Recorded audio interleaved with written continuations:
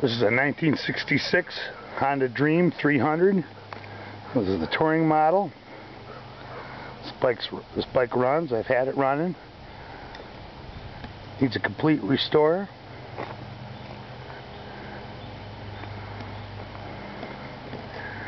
Video of it. Show you a little bit about it. Okay. There's the tank. I have the pads over here. I'll show you those in a minute.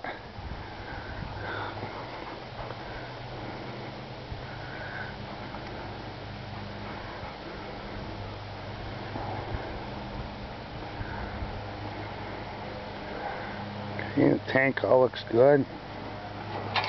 Tank is real nice inside.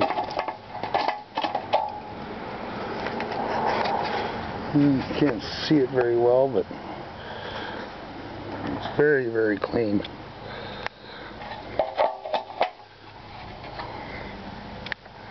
Okay, this is all the stuff that comes with it.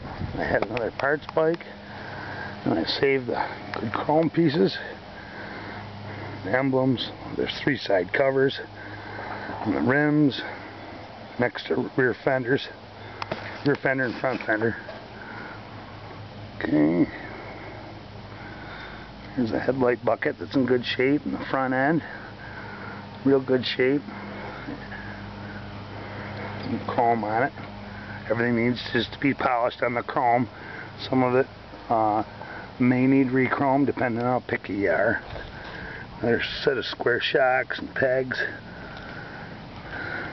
The two uh, brackets for the fender, rear brackets, and there's a wiring harness. There's the steering dampener handle, headlight ring. There's the pads. The pads are in great shape. No cracks in them. Rims are in real good shape also. Need to be polished and cleaned. Uh, the rear has a little bit more, a couple spots where it's, it's pitted.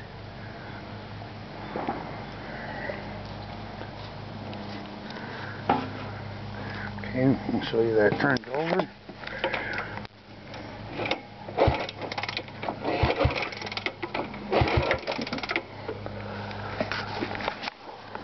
Carb's been cleaned.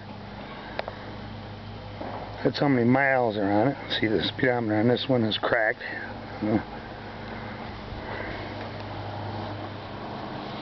there's the headlight.